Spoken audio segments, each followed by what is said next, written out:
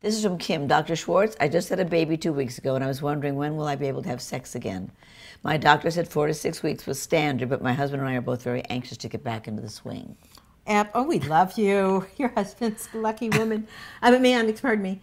Um, but but yes, you know, basically the only issue about starting sex again is pain. Right. You know, it takes a while from uh, the vaginal area, the, the whole vulva to sort of recover from what's been a little traumatic delivering, you know, a seven pound in, infant. So, so yeah, most people wait or they've had an episiotomy and there's been some tearing that needs to recover. But if you haven't had an episiotomy and you're not feeling it, try. You know, try sort of gently and slowly.